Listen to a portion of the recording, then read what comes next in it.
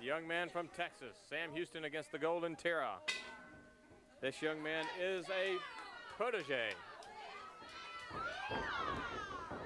of the American Dream, Dusty Rhodes and Magnum TA. Terror now.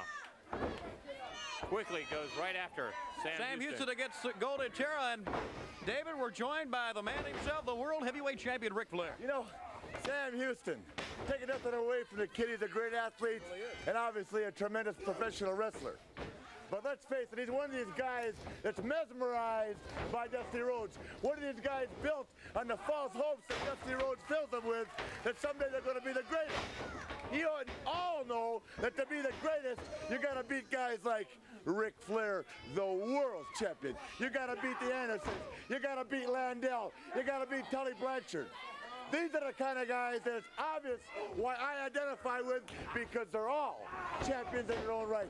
Sam Houston, a great young wrestler, but far from being the caliber of the names I just mentioned. Now, what do you say about that, Tony, huh? Come on, The young, back, the young man's going after that Mid-Atlantic heavyweight title in Starcade, and that's a title if it gets around his Going waist. after it is all he's doing. I don't like the Russians at all, but Krusher Khruschev is 290 pounds of the most powerful wrestler probably in the business. That's right. He's as powerful as any man there is. He ranks right there with the Barbarian and Graham and Nikita. He's tremendous. And I look for this kid right here. As a matter of fact, Iron Armstrong calls him the human broomstick to get himself crunched.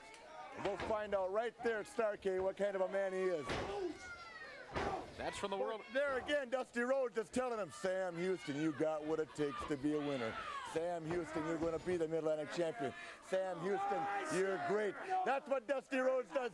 He fills all these guys up with air. And then guys like Ric Flair and Anderson come along and poof, let all that air out. Right, David Crockett? You're not talking, David.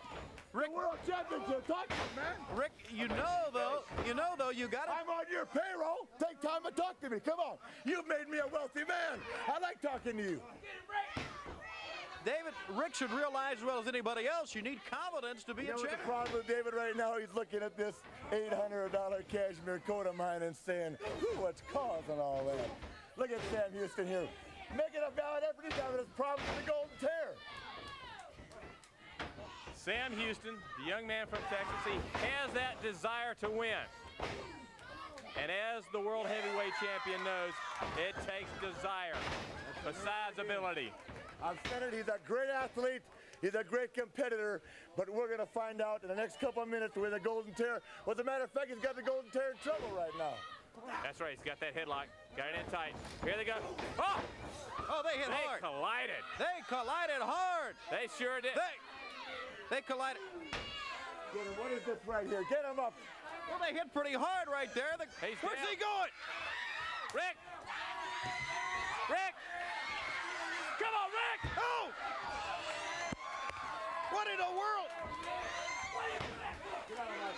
Ric, come for goodness sake. You're the world champion. You're down right on You don't need to do that. We said it before. You don't need to do things like that to that poor youngster. Cut him out. He can't get in the ring.